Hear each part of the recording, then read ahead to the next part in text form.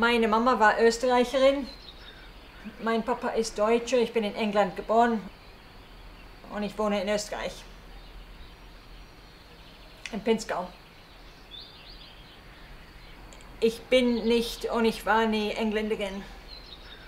Und wenn ich ehrlich bin, kann ich mir nicht vorstellen, wieder in England zu leben. Auch in Deutschland habe ich nicht gelebt. Weiß nicht, ob ich da äh, wohnen könnte. Und weil ich so gemischt bin, ich denke, dass ich ein Mensch bin, der vielleicht überall und nirgendwo hingehört. Also ich kann einfach nur sagen, dass hier in Neukirchen fühle mich sehr wohl und hier möchte ich vorerst bleiben.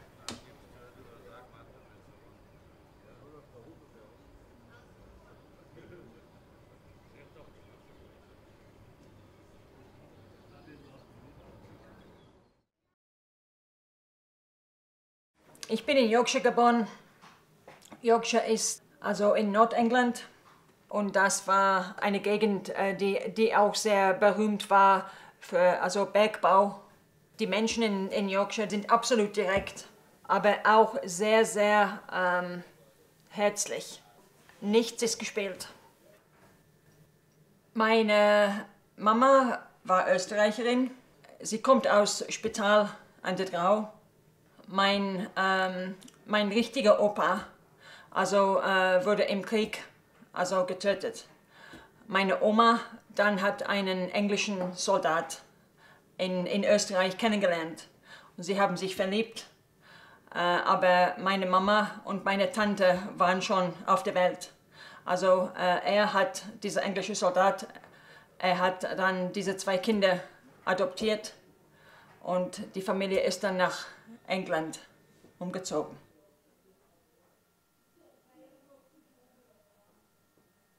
Mein Papa ist Deutscher. Also er war äh, Bergbauingenieur und damals war nicht so viel Arbeit und deswegen hat er die Entscheidung getroffen, also nach England zu ziehen und da Arbeit zu suchen. Aber mein Papa äh, war und ist immer noch Deutscher. Also er wollte immer nach Deutschland äh, zurückziehen und das hat er auch also nach dem Tod von meiner Mama gemacht. In Österreich ähm, habe ich noch also die, äh, die Schwester von meiner Oma ähm, und äh, ihren Sohn. Aber das ist alles. Also die, die, die Hauptfamilie wohnt jetzt in England. Meine Kindheit, ähm, muss ich sagen, war sehr schön. Ich habe nie das Gefühl gehabt, dass ich da nicht äh, hingehöre. Mit, mit zehn Jahren habe ich eine Erfahrung gemacht, dass das alles ein bisschen geendet hat. In der Schule, ein Junge hat zu mir gesagt, also auf, auf, auf dem Schulhof hat er mir äh, zugerufen, hey Nazi. Und ich habe nicht reagiert, weil ich wirklich nicht gewusst habe, was ein Nazi ist. Und ähm, dann, er hat das gesagt und dann haben die anderen dann in den kommenden also Wochen und so weiter mitgemacht. Und ich habe mich dann gefragt, aber was hat das mit mir zu tun? Ich bin in England geboren, also warum äh, behandeln Sie mich anders, einfach weil ich nicht äh, eine, eine richtige Engländerin bin, weil meine Mama Österreicherin ist und mein Papa Deutscher ist. Und ich habe das wirklich nicht verstanden als Zehnjährige. Ich habe von diesem Moment an nicht mehr das Gefühl gehabt, dass ich Engländerin bin. Ich gehöre nicht hier hin, habe ich immer gedacht. Und ich glaube, das ist wahrscheinlich auch der Grund, ähm, oder also das war, der, das war ein Anfang von dem Grund, weshalb ich später nicht mehr da wohnen konnte.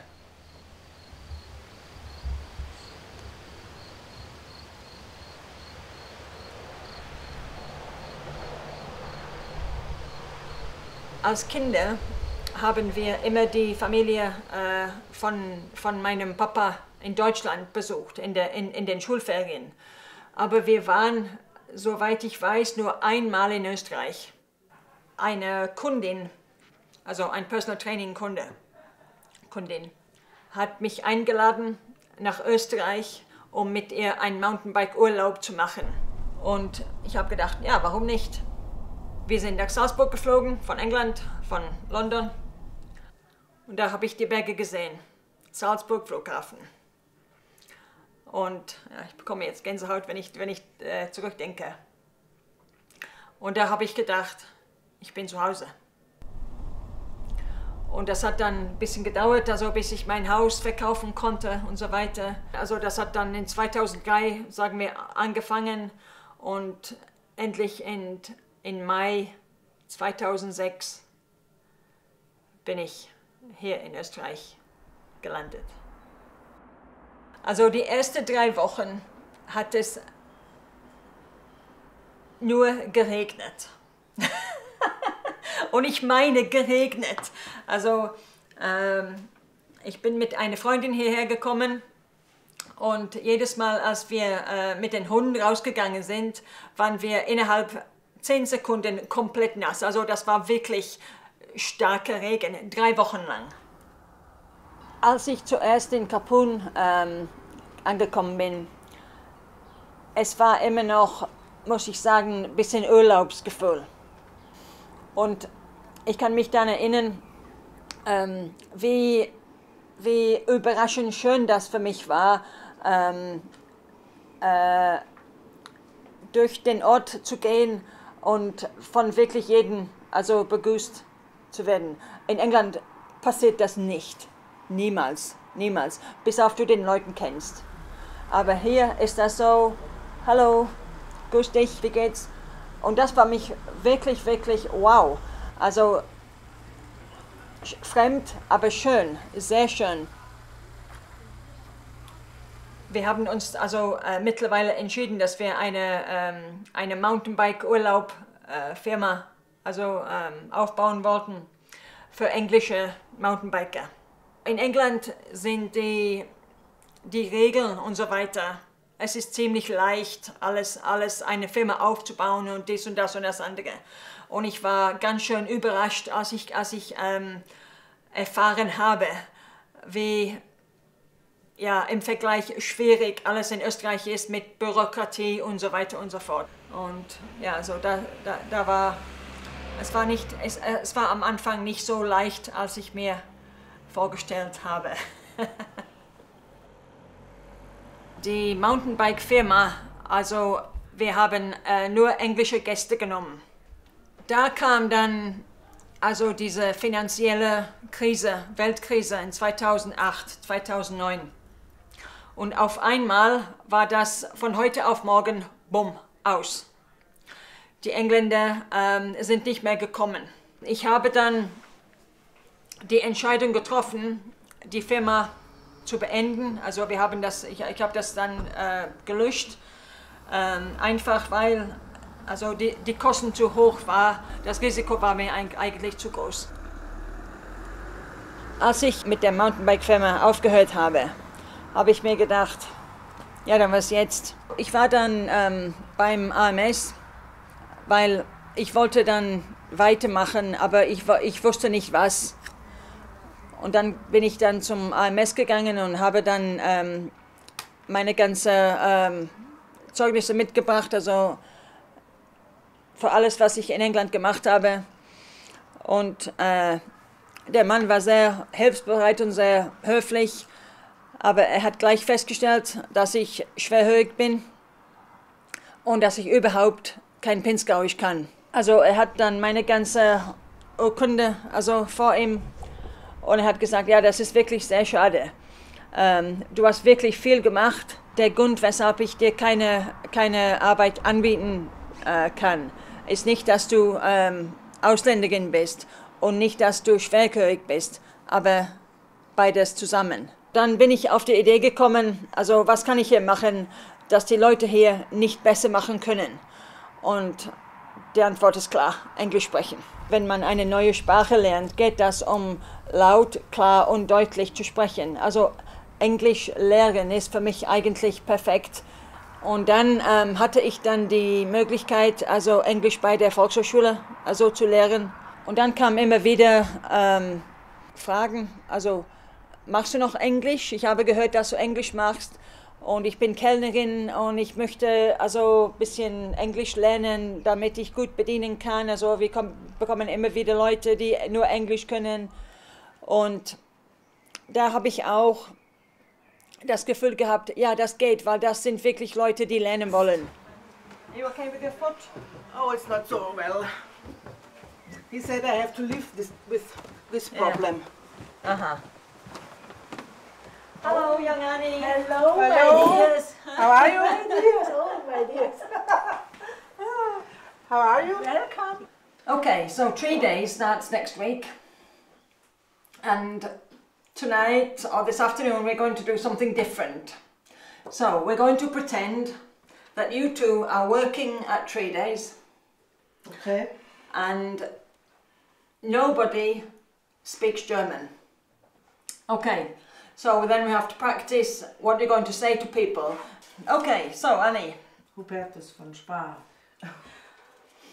Uh, go out from the car park, yes, Spar, then turn right. Then you pass uh, Bäckerei Ensmann on your right side. yes, And then go through the Kirchen till you come to uh, Elektro Dankel on your left. And the next house on the right side is Hubertus. Okay, Oshi, what's your first question? I don't feel well. Can you help me, please? Okay. I don't feel well. Can you help me, please? Yes. What's your problem? I have a very bad stomach ache. Okay. Do you need a doctor or shall we, shall we go, uh, shall we call an ambulance for the hospital? I don't know. I feel very dizzy. I think I might fall over. Fall over. So it's the, it's better we call the ambulance. Oh, I don't know. I don't know how to do this here, but oh, it hurts. Hallo, hallo, ring, ring. Hallo? Ich habe hier ein Problem. In Neukirchen ist eine Dame, die fühlt sich nicht wohl. Könnt ihr sie bitte nach Mittel ins Krankenhaus bringen zum Durchchecken? Okay. Wie lange dauert das ungefähr? 15 Minuten. Danke, wiederhören. It um, takes 15 minutes. So, is there anything that I can do? Do you think? Ah, it really hurts. I, I don't know. I'm I'm not a doctor, I don't know. I'm not a doctor. Kann dir jemand Schnaps? Yeah. Auf Schnaps. Parallel dazu habe ich begonnen, meine Erfahrungen als Krankenschwester für Psychiatrie niederzuschreiben. Diese habe ich dann später in Buchform bei einem englischen Verlag veröffentlicht. In dieser Zeit hat mich Johanna, eine sehr gute Freundin, sehr gut unterstützt. Mit 18 habe ich angefangen, ähm, als Krankenschwester für Psychiatrie zu arbeiten. Und das Problem ist da, dass du das nicht mit, mit anderen Leuten zu Hause zum Beispiel besprechen darfst. Also du bist auf der Arbeit und du hast vielleicht einen, einen Selbstmordversuch erlebt. Du gehst nach Hause und deine Mama fragt, was willst du essen? Die Leute mit ähm, psychischen Erkrankungen leben, sind auch von der Gesellschaft zur Seite geschoben, einfach weil viele Menschen diese Krankheiten nicht verstehen. Die Arbeit an meinem Buch hat mir gezeigt, wie wichtig es ist, die Geschichten von Menschen, die nicht in der Mitte der Gesellschaft stehen, zu erzählen.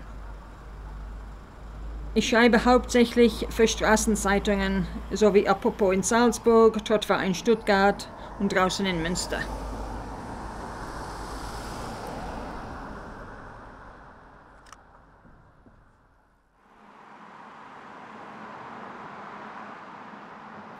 Im Sommer letztes Jahr sind viele flüchtende Menschen gekommen und ich habe mich sofort dafür interessiert. Wir haben dann eine Mitteilung von der Gemeinde bekommen. Und als ich das bekommen habe, waren die Jungs schon vielleicht zwei oder drei Wochen da.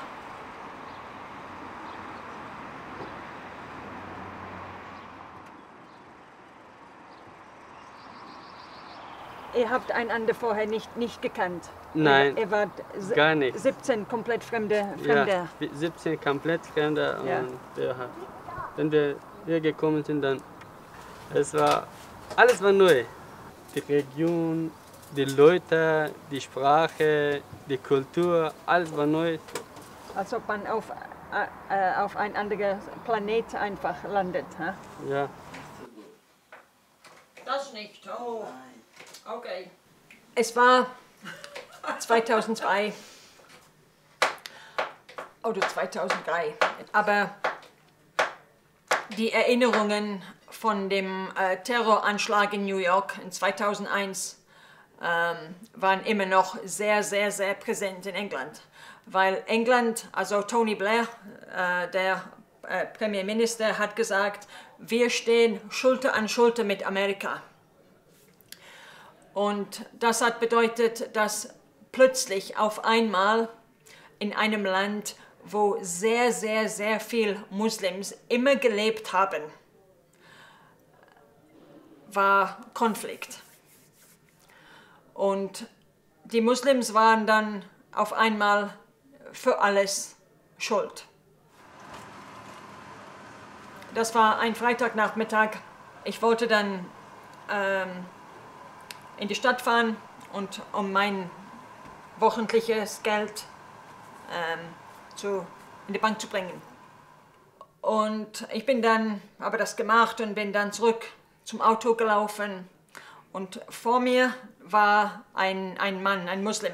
Da kamen dann auf einmal, also ungefähr sechs bis acht Jungs, die deutlich etwas am äh, Nachmittag getrunken hatten dieser, dieser Hass, ich kann das immer noch spüren. Also wir waren in der Mitte, und, äh, wir zwei, und dieser äh, Kreis ist immer enger geworden. Und ich dachte auf einmal, oh Gott.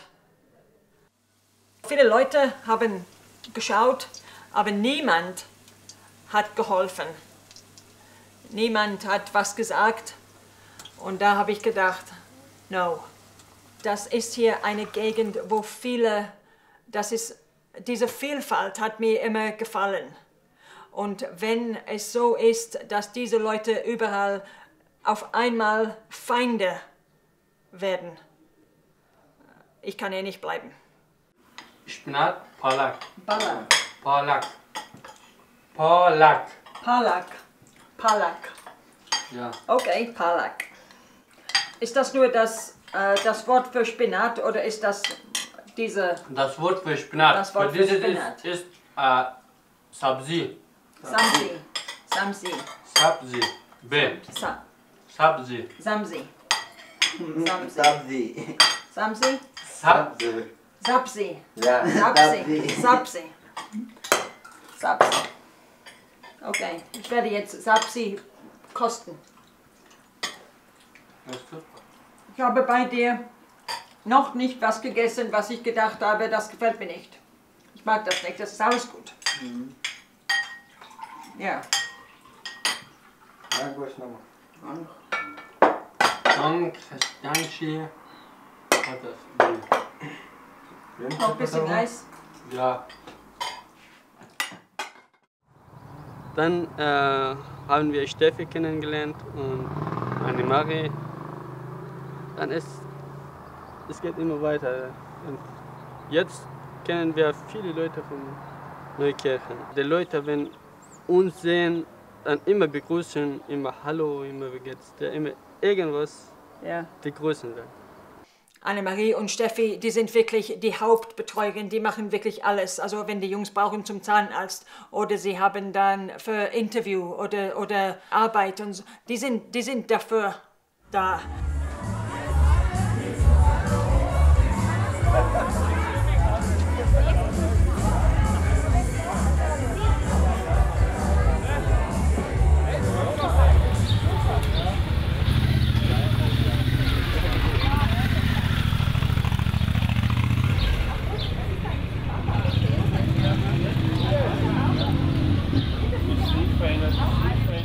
Also wenn wir jetzt den Bescheid gekriegt haben, dass der Assisi äh, einen Negativbescheid gekriegt hat, Assisi so am Oben hat den ersten Negativbescheid. Also wir müssen ehrlich sagen, wir sind da gesetzt und haben alle geredet. Das ist unser erster negativer Bescheid gewesen. Und nachher fällt natürlich auch so in Wolken, weil sie, wir hängen ja ja schon oder sehr ins und dann haben wir natürlich einmal beratschlagt, weil wir wissen ja, rechtlich wissen wir auch nichts. Gell? Und dann sind wir mal zusammengeguckt. Da. Die Andrea weiß da einiges. Einfach da direkt das ausspricht, auch bei dem Interview. Gell? Einfach klar rumkommt, dass sie schon in großer Gefahr sind. Weißt du?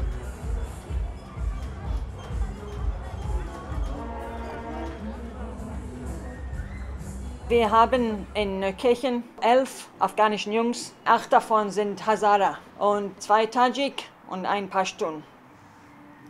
Die sind alle da, weil sie äh, verfolgt wurden. Es gibt zum Beispiel Situationen, wobei junge Männer also von den Taliban also ähm, gekidnappt werden und ähm, die Taliban versucht diese Männer äh, zu überzeugen, dass sie ähm, Selbstmordattentäter werden. Und wenn die, wenn die das verweigern, werden die dann, dann getötet. Also, was, was bleibt dann über? Entweder du stirbst da in Afghanistan oder die Taliban tötet deine Familie, weil du, weil du verweigert hast, oder du fliehst. Und das ist, das ist etwas, was viele, viele, viele Leute nicht verstehen. Wenn man denkt, da ist in Afghanistan kein Krieg, warum sind die Leute hier? Ja, stimmt schon. Da ist kein Krieg, nicht, nicht ein Krieg, wie es in Syrien gibt, wo Bomben von der, von, von, von, vom Himmel fallen. Das ist eine andere Art von Krieg.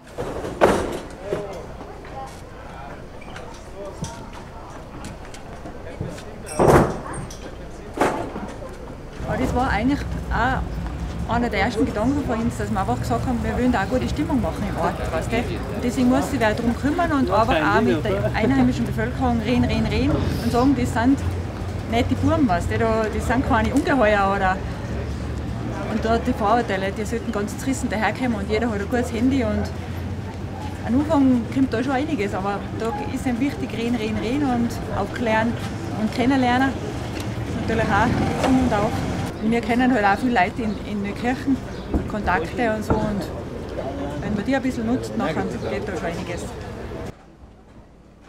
Arbeitsplätze sind jetzt in dem Sinn, dass sie gemeindemäßig arbeiten dürfen. Sonst dürfen sie ja noch nicht arbeiten. Der Organisator für die Tride ist, äh, hat mich gefragt, hat der nicht mehr hat gefragt, ob wir wieder ein paar Boys hätten, die uns helfen, die einer helfen könnten. Gestern war ich oben und dann sind die Boys vorbei und dann, da gibt es schon so viele Einheimische, die sagen, hallo, grüß dich, hi, Assisi, hi, Ali und so. Es ist, sie sind einfach schon richtig, man erkennt sie und sagt, sie sind integriert schon.